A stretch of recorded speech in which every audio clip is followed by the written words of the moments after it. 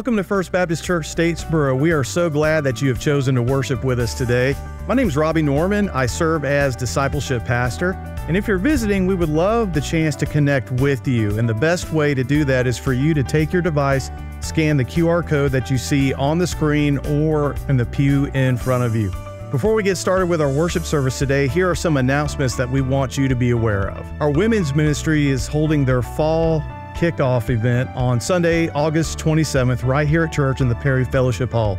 All women are encouraged to attend to get to know one another, to see our women's ministry leadership, and to hear about the plans that our women's ministry has moving forward for this next church year. College students, we invite you to join us for a college night of worship and prayer on Sunday, August 31st at 7 o'clock p.m.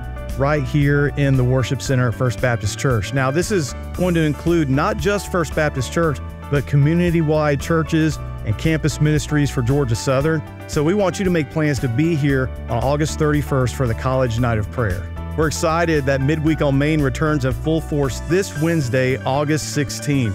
After the service today, we invite you to go by the Next Steps area to look at the different adult class options that are available and to sign up for one that best suits your spiritual need.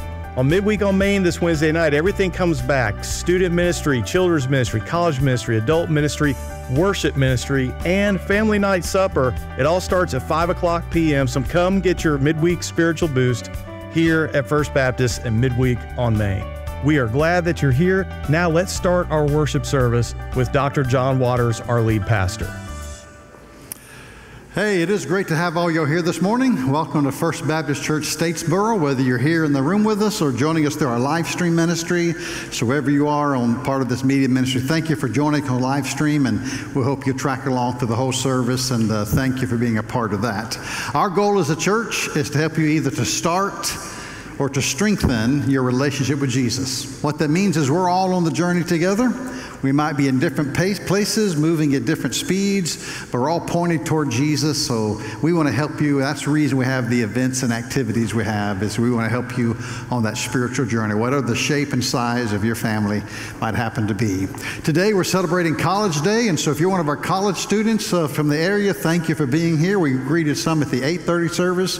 Glad you're here, or you might be part of the family members. So a lot of the college students were moving in uh, this week, and so whether you're mom or dad dad, family member, college students, thank you for being here today.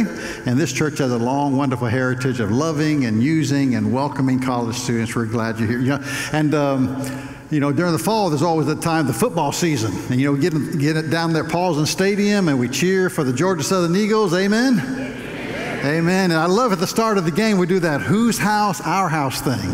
Why don't we try that today? whose house? Whose house? Wait a minute, though. This is the Lord's house.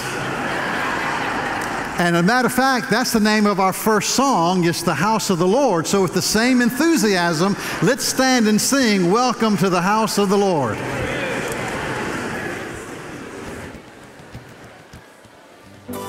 Morning, church. Psalms 13 6 says, I will sing the Lord's praise, for he has been good to me the Lord has been good to you, then let's sing together about the joy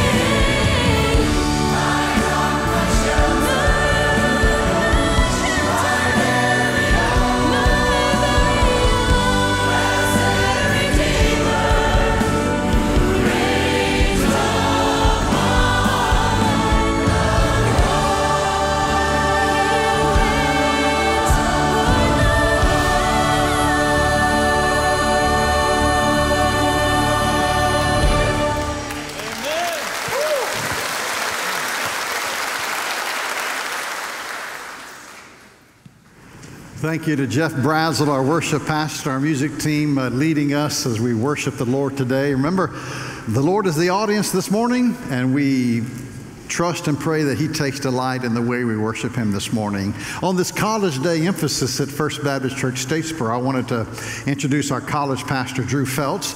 Many of you know him or met him this morning, but we want to make sure you know who he is. He's the guy with the great looking hair compared to the rest of us. But Drew has been our college pastor for three years this fall, and uh, several years ago we had a lot of a, a big congregational gathering, and one of the big priorities they said we need to prioritize and revitalize our college ministry. And one of those steps was bringing Drew Feltz here as our college pastor. His dear wife Angela is seated here on the front row, and, and so they came here three years ago with their little infant daughter, and now three years later, um, their daughter has grown up quite a bit, and they're now they're expecting their first son. So congratulations to Drew and Angela.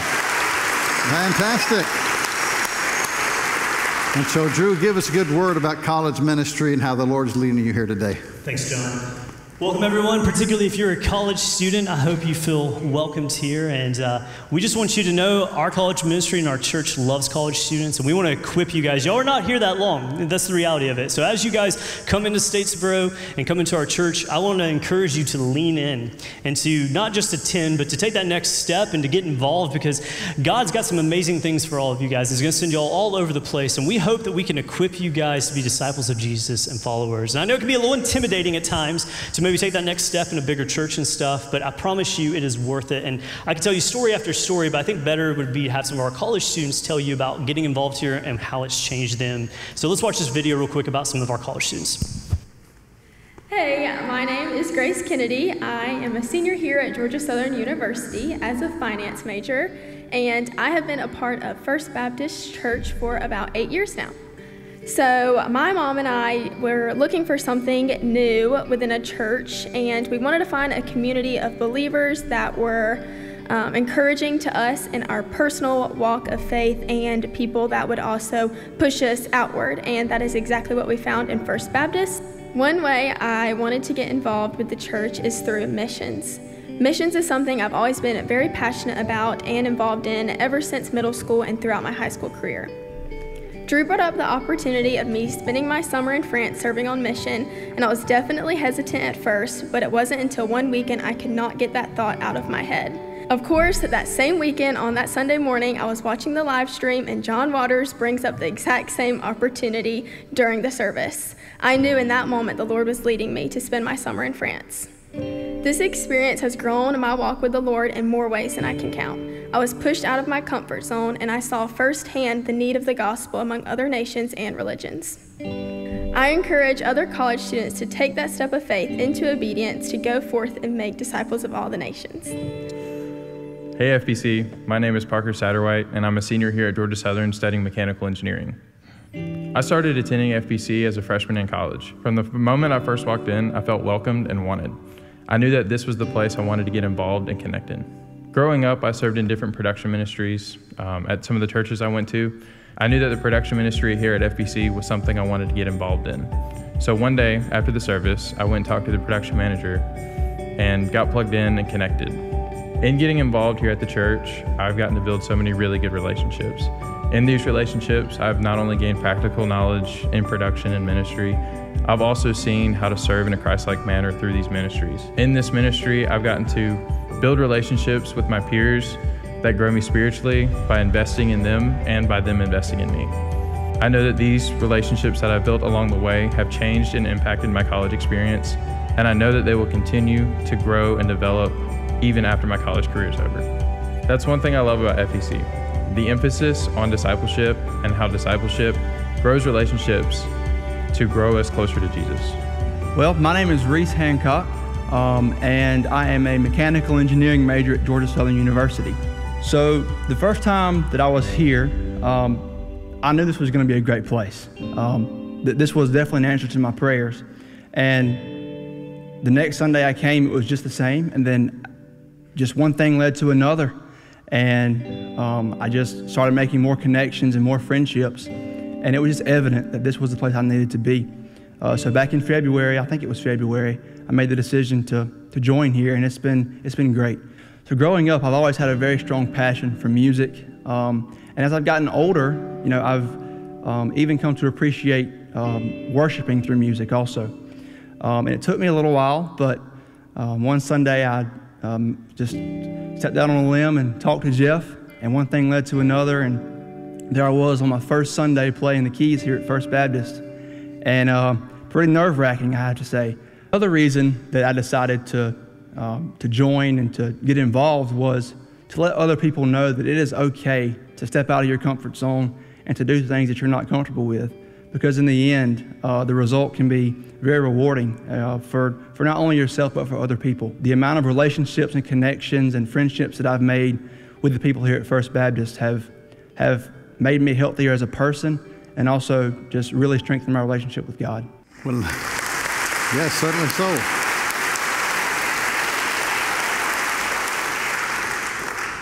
Since uh, its founding, uh, what we call Georgia Southern University over 100 years ago, uh, this church has had a heartbeat for students. So we, college students are welcomed and wanted here.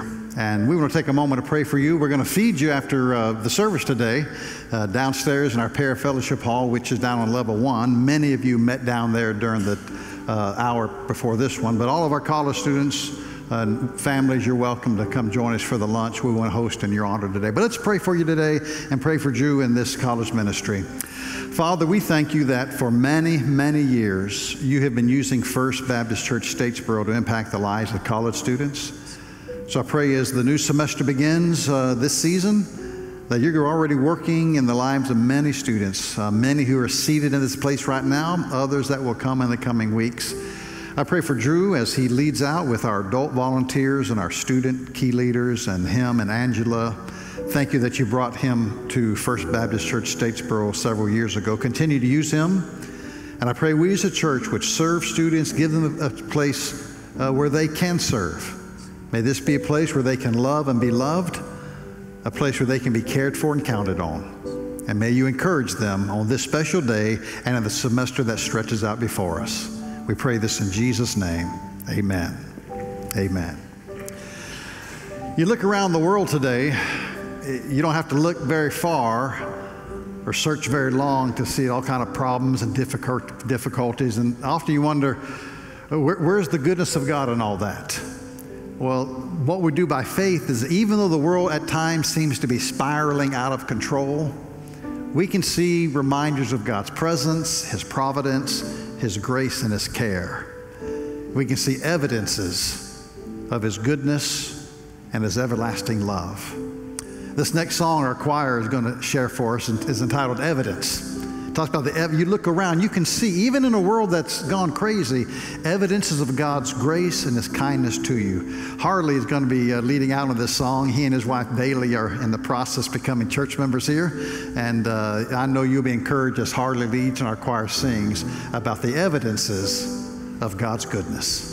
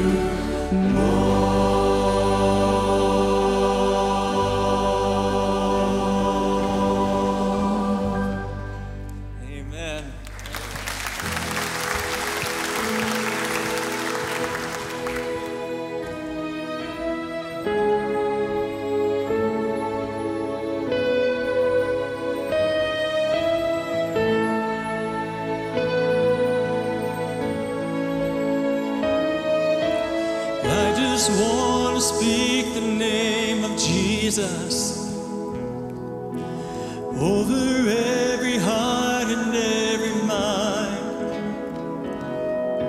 Cause I know there is peace within your presence.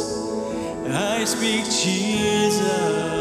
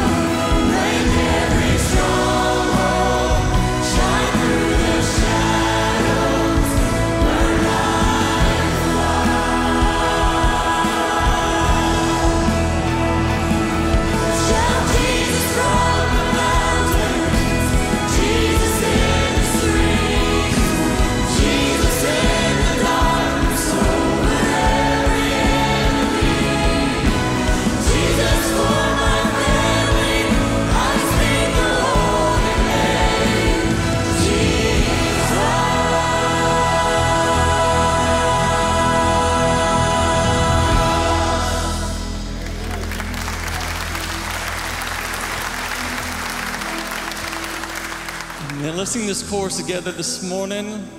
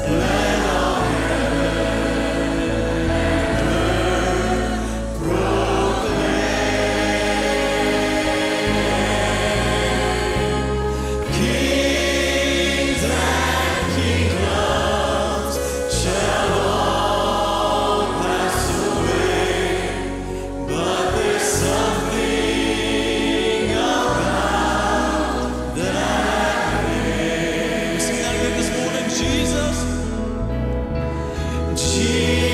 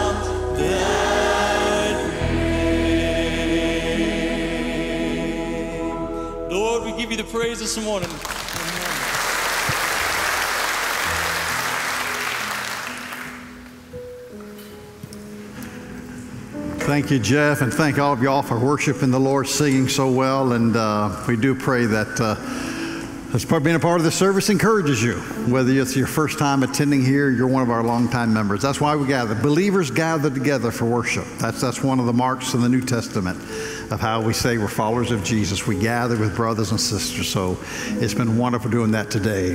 This morning, I want to preach a message out of the New Testament book of Second Corinthians. And I invite you to take the listening guide I hope you found when you picked up a bulletin or one was given to you. And you can take some notes on that and share those. Uh, we're taking three weeks. We started last week and we go today and next week, looking at six changes that Jesus makes in your life under the theme that Jesus changes everything.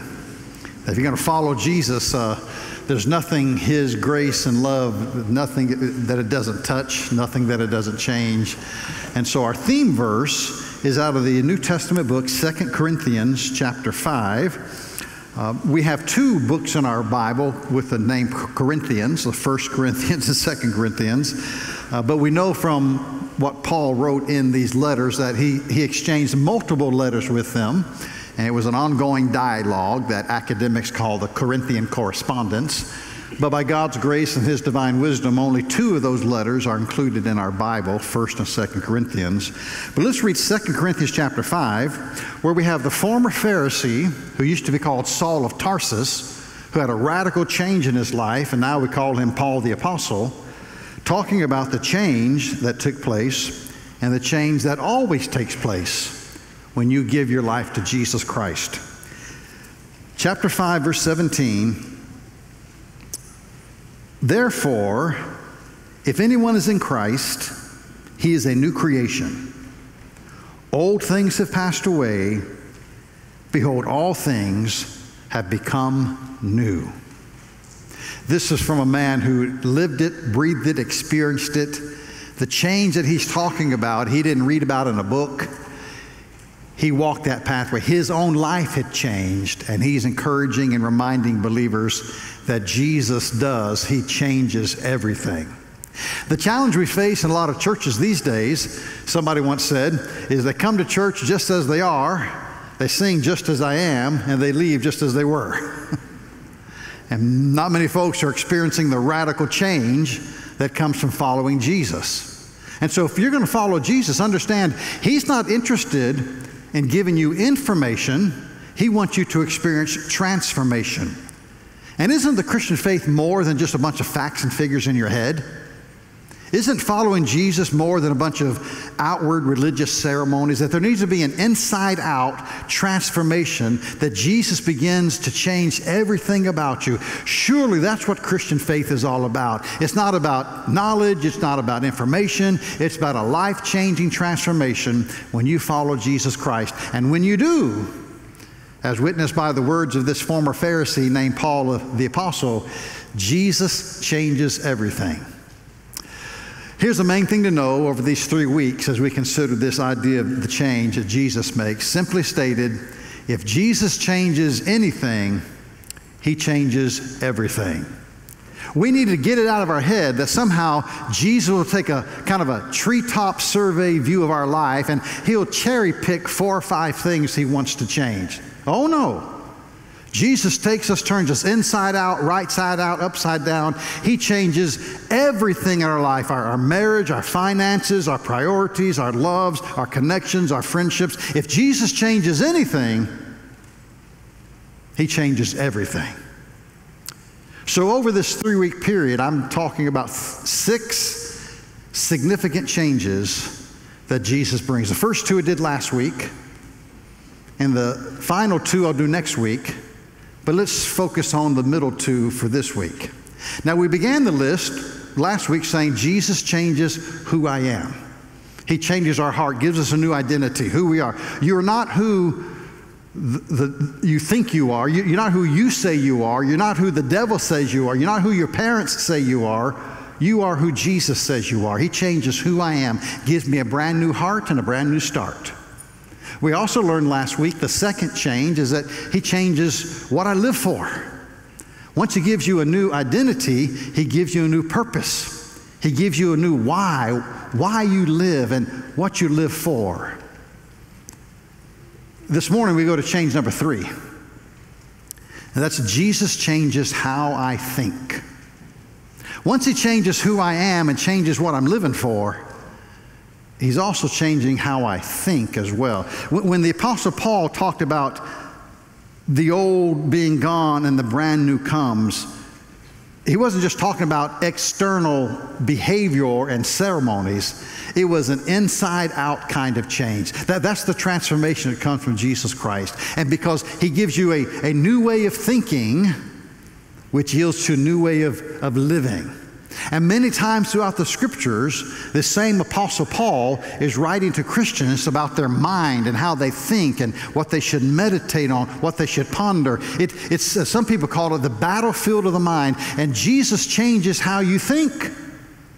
He gives you a brand new perspective a brand new worldview, and as often is explained, a worldview is, is the filter, the, the way you view life and the way you understand things. And there's lots of different worldviews out there, but Jesus changes your worldview. He gives you a different way to think. This same man who wrote this, Paul, wrote a letter to the ancient church at Rome. It's in your Bible called the Book of Romans. And in Romans chapter 12, verse 2, he said, Do not be conformed to this world, but be transformed by the renewing of your mind. Now, it's important to be baptized if you've never been baptized as a believer. It's important to find a Bible study group if you don't have a Bible study group. It's important to find a local church to be a part of, yes, but notice how the scripture says, be transformed by the renewing of your mind. Sometimes we'll do all those other things and we won't allow the Lord to be renewing and changing our minds. Do not be conformed to this world, but experience the transforming power of Jesus by the renewing of your mind, it says. That, that's what the scripture's teaching us, uh, re- re- giving us a, a brand new way to think. Also, when Paul wrote the first letter to the Corinthians, in 1 Corinthians chapter 2, he said, But the natural man does not receive the things of the Spirit of God, nor can he know them, because they are spiritually discerned. Then he says, But we have the mind of Christ. When he talks about the natural man, that means the, a non believer, somebody that doesn't believe the claims of Jesus, hasn't surrendered. They're still living in a, a natural, unbelieving state. The natural man, the, the, unbelieving roommate you have, or friend that you have, the family member you have, the, the natural man does not understand the things of God. And maybe you have people like that in your life. You've tried to explain the gospel to them, you've tried to explain the, your belief, they just don't get it. You know why? Because as unbelievers, they don't understand the things of God because those things are spiritually discerned, and the Bible says they, they can't even know them unless God's Spirit moves within them. But it says, You're not like that. Those are the unbelieving, so called natural people of the world. You are followers of Jesus. And that last phrase he uses in verse 16, it says, You have the mind of Christ. You don't think like the world, you don't think like Christ. You're to have a worldview that Jesus changes not only who you are and changes what you live for, but He changes how you think. You have the mind of Christ. I remember coming up years ago, the, the WWJD was a big thing. What would Jesus do? It was on wristbands, and we had car stickers, and, and all that's great. But perhaps a better thing would be to say WWJT. What would Jesus think? Next time you encountered a dilemma or decision or circumstance, what would Jesus think about this? Because you have the mind of Christ. As followers of Jesus, we are called to think like Jesus, to have a worldview like Jesus, the mind of Christ. So, how do you do that?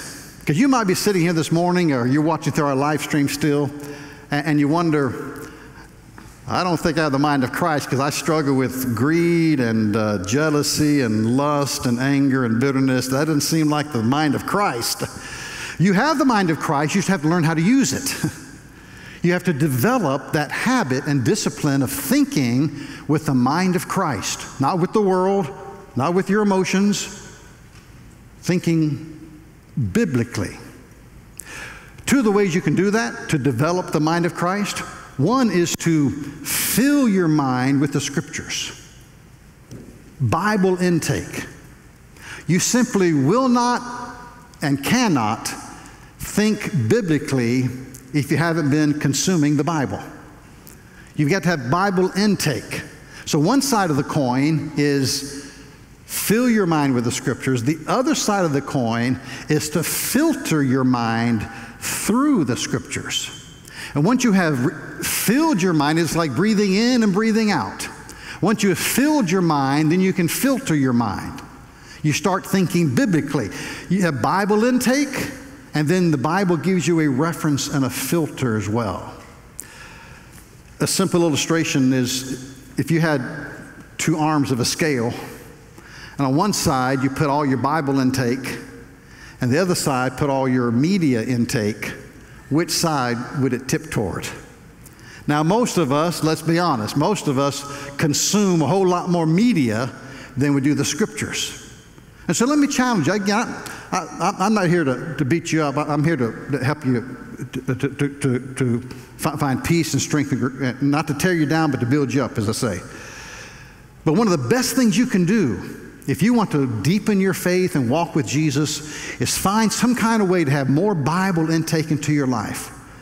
Sunday morning is great to be here and read the Bible and sing, but let me encourage you. There's lots of Bible reading plans out here. Find some way you can start reading and, and receiving the scriptures uh, even just a couple verses a day, a few minutes a day, that regular Bible intake, that's the single most important thing you can do to help you start thinking biblically. And once you fill your mind with the scriptures, then you filter them through the scriptures. What does the filter do?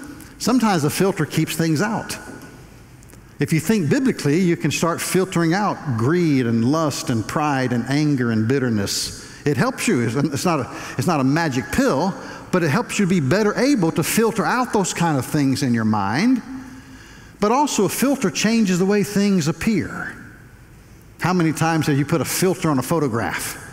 You had a dark photograph and you put a filter on it, changed the way it looked. Well, when you filter things to the scriptures, it changes the perspective entirely.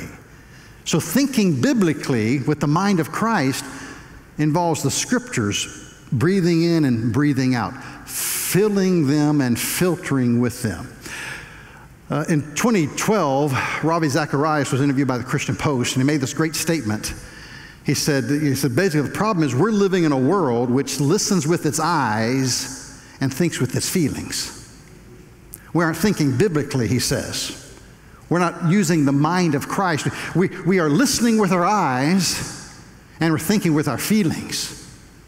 And you see that because if, if people can touch people's feelings the most, that's how they respond. Not rationally, not biblically. They're just responding emotionally. And indeed, we live in a world that listens with its eyes and thinks with its feelings. But we have the mind of Christ. We are not called to listen with our eyes. We are not called to think with our feelings. We are called to think biblically. Not everything in life is rules and regulations, right and wrong, black and white. It's okay to admit, as people of faith, there's some gray areas out there. Some things are a wisdom issue, not necessarily a sin issue. You make a choice based on wisdom, not because it's a black and white sin. In the gray areas of life, how do you think biblically? Let me share with you three living laboratories where you can learn how to think with the mind of Christ, think biblically. And these aren't perfect sciences. I had lab coming through college, and believe me, it wasn't perfect. It's a good thing we didn't blow the place up, in other words. But living laboratories where you just learn how to do this, how to think biblically. One living laboratory where you learn how to think biblically is in political issues. They're around us every day. When a, uh, when a political issue comes before us, our first devotion is neither to the Democrats nor the Republicans. How can you, as a follower of Jesus, think biblically about that certain political issue? For example, did you know the United States of America, we have $32 trillion in debt? You thought your credit card was high. We have $32 trillion in debt. What should you think about that? I don't care what the Democrats, Republicans think about. As followers of Jesus, we live in a nation with representative government that over the years has amassed $32 trillion in debt. How do you think biblically about that? Another example, the southern border. We see that on the news every day. Eh, are they families and children coming across needing asylum? Are they really drug cartel members coming across? Who do you believe? How do you respond? Should we have refugee shelters? Should we bust them all over the nation? The Democrats got their idea, the Republicans got their idea, but as followers of Jesus, how do you think biblically about all the immigration and refuge and people coming over the southern border? With the mind of Christ, thinking biblically. And then it comes down to when you choose candidates to vote for whether it's a candidate for the city council or the county commissioners, maybe in the state legislature or the governor's house or even in the White House. Next year, there's a, I, I hear told that there's a presidential election. When you go to choose which candidate you'll support, how do you think biblically with the mind of Christ? Because you think biblically, sometimes there's certain policies you cannot support as you think biblically about it. And sometimes there's certain personalities you cannot support as you think biblically. So we're called not to swear our allegiance to political parties, but to the mind of Christ. Whatever the issue might be, how do you think biblically and then make a decision accordingly? That's a living laboratory where you kind of stretch your muscles and learn how to use the mind of Christ. A second living laboratory, in case I'm not in the deep enough water yet, I'm about to go a little deeper. the cultural social issues of the day. My oh my, aren't they everywhere? So when some cultural social issue comes, how do you think biblically about it? Take abortion. Thinking biblically about abortion, Is that a genuine, is, is that a needed health care process? Is it not? As you think about it biblically. Is that unborn child a real person or not? How do you think biblically about that? Should abortions be uh, legal, but we work to keep them safe and rare, or should they be illegal top to bottom? How do you think biblically about that issue? Don't think emotionally. Don't listen with your eyes and think with your feelings. Have the mind of Christ. How do you think biblically about a cultural social issue such as that? Another one is the um, idea of uh, LGBTQ plus movement and transgenderism. And that's even more complicated because inevitably you have a family member who is uh, identified with the LGBTQ uh, lifestyle, or maybe you have a, somebody you know in your, in your friendships or your family relationships who's a transgendered man or transgendered woman or is talking about it. And, we, and you love those folks.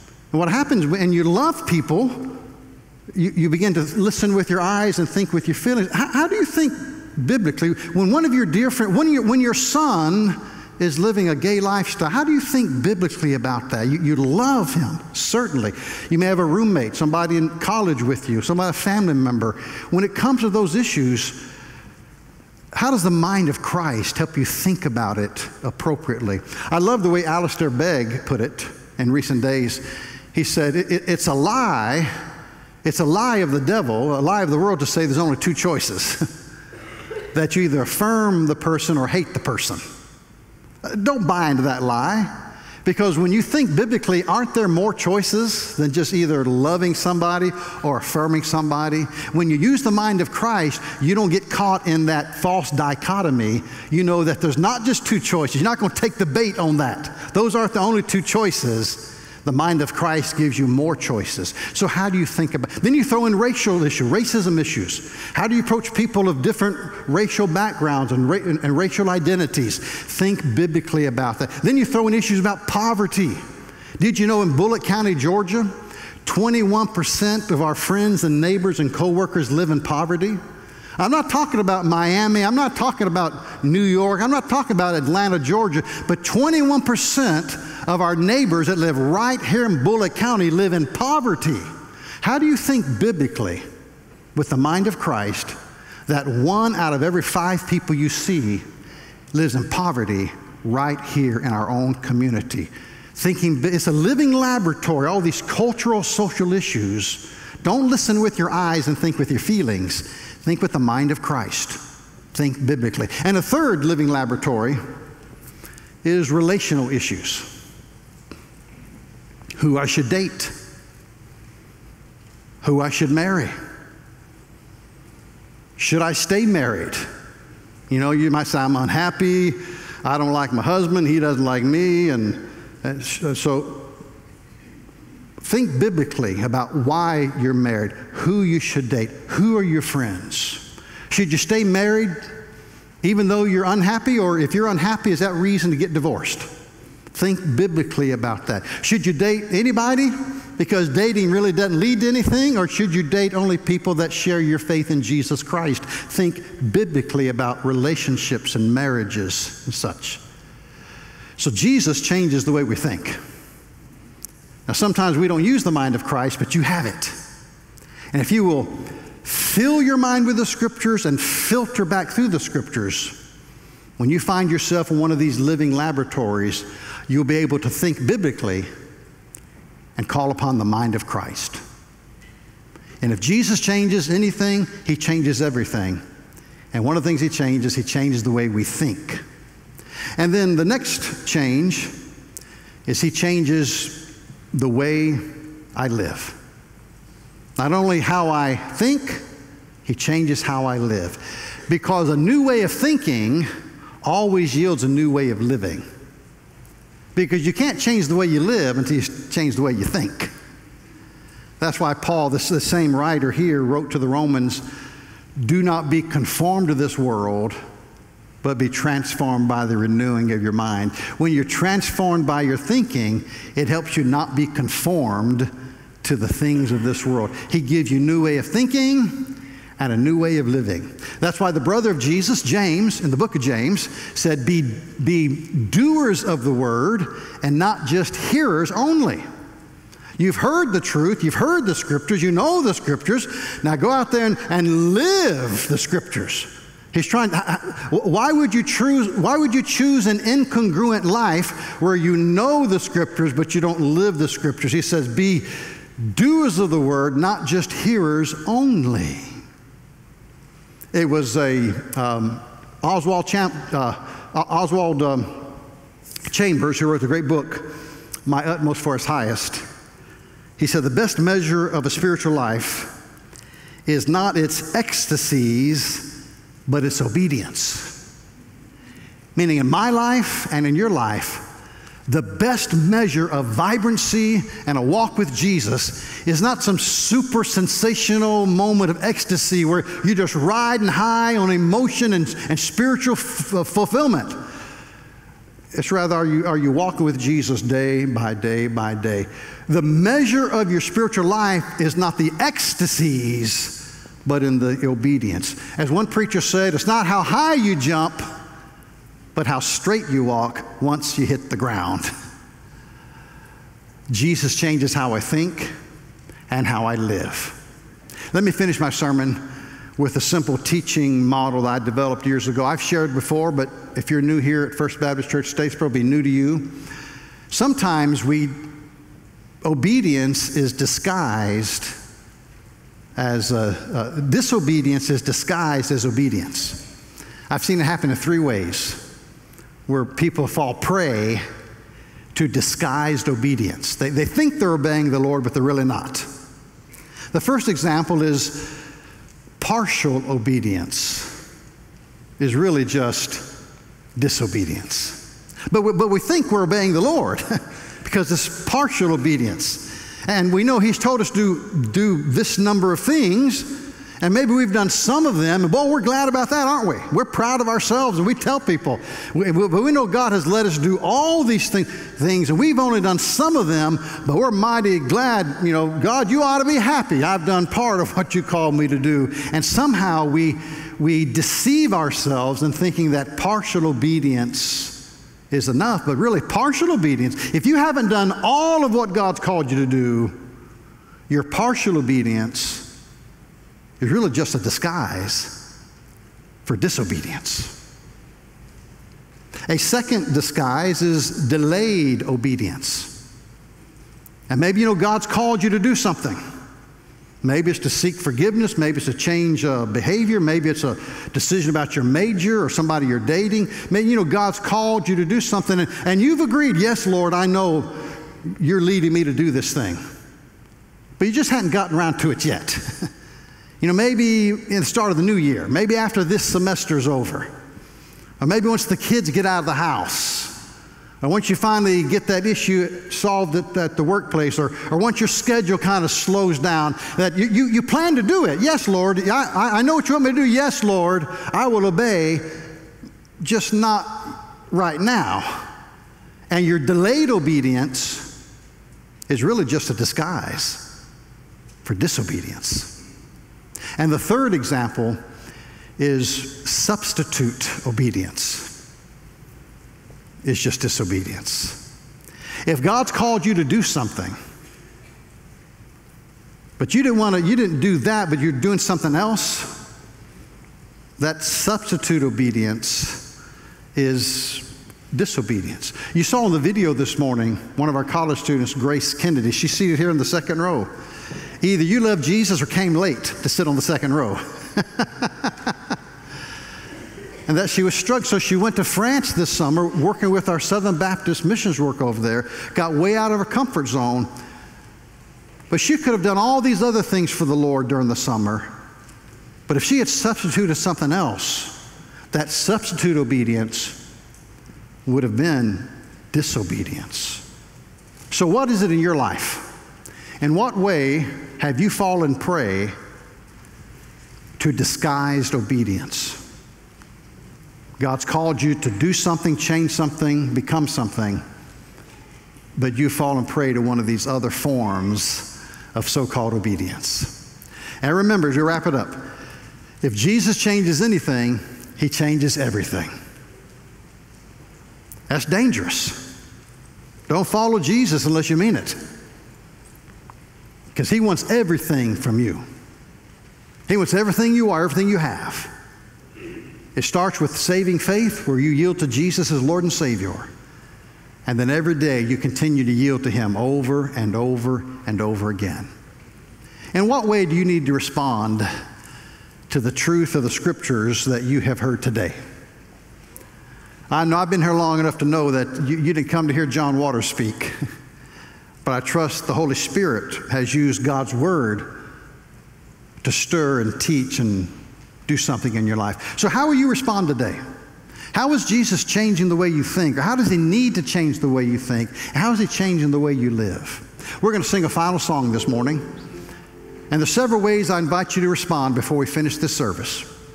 One way is during the final song to walk forward to one of the staff ministers who will be standing down front here. You might want to walk forward and say, I want to acknowledge publicly that I'm yielding to Jesus as Lord and Savior. Maybe you've never done that before. This is a perfect time. We invite you to walk forward. Or maybe you want to walk forward to one of these staff ministers and have a prayer about something in your life, some change that Jesus is calling you to make. And you can pray with one of them or like in the first service, had some folks come and just kneel by themselves or stand by themselves. That's one way to respond. A second way to respond today is stop by the Next Steps area. Even if it's something as simple as the Wednesday night Bible studies. Maybe you know that's something you need to be a part of. You want to find maybe a, a discipleship group or a Bible study, and, and that's a missing part of your life. Well, stop by the Next Steps area. This Wednesday, we're starting a, a men's study, a women's study, and two co ed studies. And maybe for you, your form of obedience is just stop by Next Steps and pick up some information and make a decision. Or maybe there's other thing. Another way to respond is I'd love to sit down with you. You can, you can call me, contact me. I think we have my uh, cell number and my email address. That's my personal cell phone number 912 536 5886. Come straight to me. If I can't answer it, my voicemail box is not full. Some of y'all need to learn how to empty some of those messages. Get that, that voicemail box empty. Or send me a text.